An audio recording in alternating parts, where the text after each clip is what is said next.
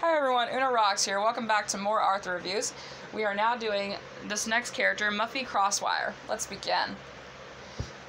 Mary Alice Muffy Crosswire is a third grader in Mr. Ratburn's class at Lakewood Elementary. She is the richest school or the, the richest girl in Elwood City and lives in an enormous mansion. Muffy entered Lakewood in second grade when she met Arthur and his friends and quickly became best friends with Francine.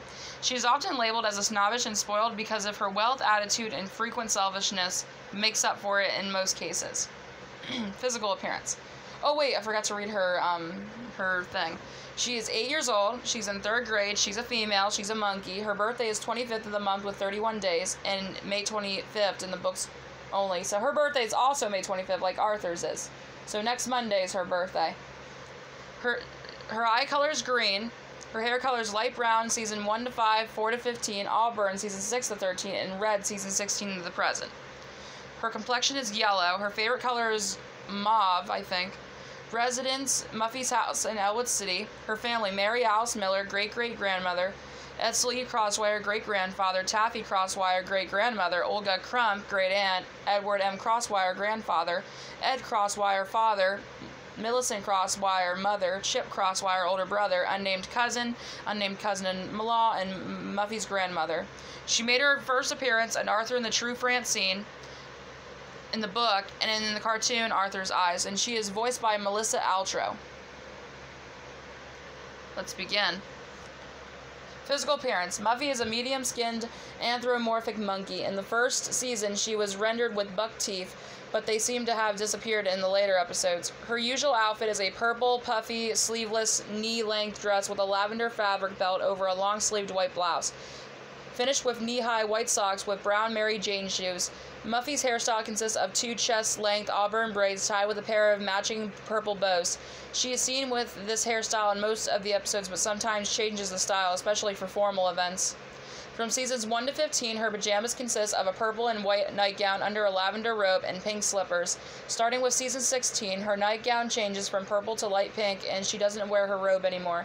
Her swimsuit consists of a purple mallet with an orange stripe. On formal occasions, she wears a white t shirt, a red dress with suspenders, and brown loafers. She wears this outfit with her pigtails. In the summertime, Muffy wears a lavender t shirt with a white collar, a green skirt with two pink stripes that are horizontal and vertical, and wears green slip on shoes with pink soles and a pink flower on each shoe. In Bitzi's breakup, Muffy wears a purple shirt and purple pants, but her double braids are changed to her ponytail. However, she still wears it in later episode seasons until season 14. In DW Blows the Whistle, Muffy wears an orange racing suit with a blue stripe, a white helmet, and orange sneakers. In Muffy's Art Attack, Muffy wears the first outfit that consists of a green and purple striped bodysuit, a purple puffy dress with green and purple pockets on the front, and black Mary Jane shoes. She wore this with her double braids and her pigtails. Muffy wears the second outfit that consists of a blue collar shirt that has sleeves being rolled up above her el- elbows, white overalls, and brown dress shoes with brown laces. Muffy wears the third one consists of a yellow shirt, a salmon jacket over her shirt, a blue puffy skirt, blue tights, and black Mary Jane shoes. However, she still wears the second and third outfits in later seasons until season 14. And Prunella gets it twice. Muffy wears her first outfit, but it has several color changes with her bodysuit having blue and yellow stripes, her dress being red, and her shoes being brown. The only hairstyle she can have with her first outfit with an alternative color scheme is her pigtails and how the cookie crumbles. Muffy's third outfit is a originally a blue dress and a white jacket over her dress. In Matchmaker Matchbreaker, Muffy wears a purple version of the third outfit, but the shirt is still yellow. In other media, in the Living Books computer games, Muffy had a brown complexion, dark brown hair, and buck teeth in Arthur's Teaser to Trouble. She subsequently had her complexion changed to pale, her hair color changed to light brown, and her buck teeth removed in Arthur's birthday. It was likely due to color and tone restrictions during the 16 bit era of computers and software. Her vocal tone was a bit deeper, as she was voiced by Janice DeMichael Rogers before the TV show replaced her with Melissa Altro. In the later games, such as Arthur's Thinking Games during the 32 bit era of computers and software, her appearance was the same as she looks in the TV show. Alternative hairstyles. Throughout the series, Muffy has many alternative hairstyles. She gets her hair done for many occasions, and her favorite place to go hairdressing is the Salon de Beauty. Some of the episodes she has seen with different hairstyles include Francine's Bad Hair Day, Muffy's Art Attack, Lights Camera Opera, The Lousy Week, Don't Ask Muffy, The Election, and No Acting Please. Personality. Muffy often has a lack of empathy for everything and believes that money, Bailey, and her father can fix any problem. However, in some fields, Muffy is good at giving advice on things like fashion or love. She is usually the first one to catch on a fad or a trend. Like Arthur, she is eight years old and is in the third grade, but in contrast, she is fashionable, talkative, melodramatic, stubborn, cute, beautiful, and very wealthy. Despite her cuteness and beauty, she is often labeled as snob and spoiled because of her wealth, condescending attitude, and frequent selfishness, as shown particularly in the episode Spoiled Rotten. However, Muffy can be quite mature at times. Muffy is also shown to be quite popular, as shown by many parties she hosts. Like her father, Muffy is also good at doing business with people. Despite all of that, Muffy has a knack for being friendly, cares a lot about her friends, loves to hang out with them, and they usually have wonderful friendship. That is especially true in the later episodes where she's all smiles. Muffy's spoiled home lifestyle has left her somewhat naive when it comes to certain basics of domestic life. She, for example, did not know how to wash dishes by hand in a sink, believing that she could get the job done simply by squirting some dishwashing liquid on a pile of dirty dishes sitting in the sink. The Great MacGrady. When Muffy was younger, her personality was slightly more aggressive. She wanted to be friends with Francine, yet have Francine take the blame for cheating during a test. In another episode, she stood up for Francine by telling Buster not to pick on Francine because it is not Francine's fault for the Frenskys to be in debt. She was willing to stand up to Binky even after she accused Binky of stealing Francine's bicycle. Muffy was also fed up with Francine's insults and challenged Francine to be calm for an entire week. Muffy lost her patience while tutoring Buster and flunked him. Muffy is proven to be brave enough to stand up to Molly no matter how tough and old she and the rest of her fellow tough customers are, as shown in the Law of the Jungle Gym. She can also be manipulative and can be forceful, and often shows herself as a fair weather friend. One such example is seen in the episode The Director's Cut when she takes over the making of George's movie and encourages the crew to change things without George's approval and always held the fact he was borrowing her camera to make the movie in the first place until George finally puts his foot down. There are also some times where she refuses to take responsibility for things that were entirely her fault. As she, this was the case, she lied about not having headlights to Francine in the lousy week, and as a result, she managed to infect the entire school. Relationships, family. Despite having a huge mansion, Muffy's family is quite small. She lives with her father, Ed Crosswire, her mother, Millicent Crosswire, and her butler, Bailey. Like DW, she refers to her parents as mommy and daddy. She also encourages called she also originally called her mo- mom as Mumsy. Muffy has an older brother named Chip, who was first referred to in Arthur's Perfect Christmas, but did not appear until Matchmaker Matchbreaker. She has many privileges and freedoms, endless rooms, unlike and endless rooms filled with toys, and her own clubhouse. She has eaten Haas and Purr ice cream while reading the Scare Your Pants Off Club books and got nightmares.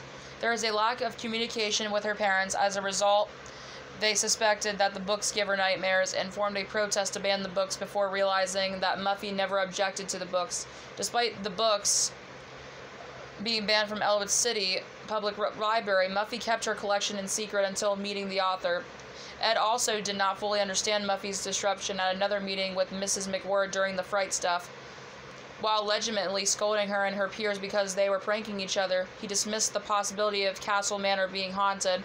Muffy has been even more art- aristocratic compared to her parents, who assumed she was from a royal family. Her parents said that she are just plain folks. She is the only the fourth generation of entrepreneurs, and advised her to visit their aunt Olga Crump. Friends. Francine Frensky, Muffy's best friend, though they are different in numerous ways, they always manage to find something to do together.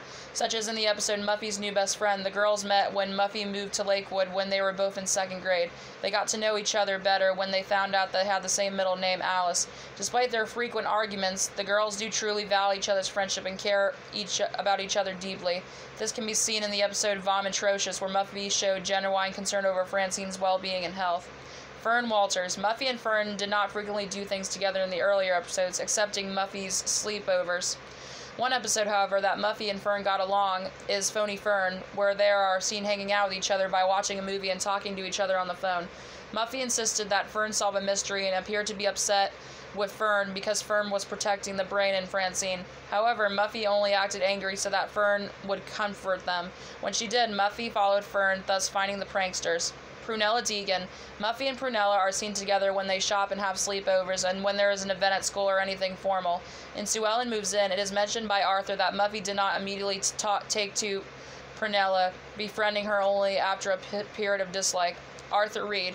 Muffy and Arthur are great friends. They both have the same birthday, May 25th, which is next week. Arthur tends to get annoyed when Francine talks about shopping and playing with her Polly action figures, but despite all that, they are still great th- friends. Buster Baxter. Muffy and Buster are good friends. Muffy is usually discussed of Buster's unhealthy eating habits, such as expired food or food that was dropped on the floor. Like Arthur, he also tends to get annoyed when Muffy talks about shopping and how popular she is. But despite that, they are still good friends. And Muffy gets mature. Muffy imagines kissing each other, and then she turns into a frog and says, Ew. Kaylee Lamont. Kaylee is a girl that Muffy met when she was staying at a shelter for residents of Elwood City that were displaced by Hurricane Sadie. Muffy was initially appalled at at the idea of staying at a shelter, which only happened when there was a mistake with her family's reservation. At a four-star hotel, when they were unable to find each other's lodgings, Kaylee gave Muffy advice on how to find the best snacks at the shelter and how to block out the sounds of snoring. The two quickly became friends and played together. Muffy was shocked when she learned that Kaylee's home had been almost completely destroyed by the storm and offered her and her mother a room at the Crosswire Estate.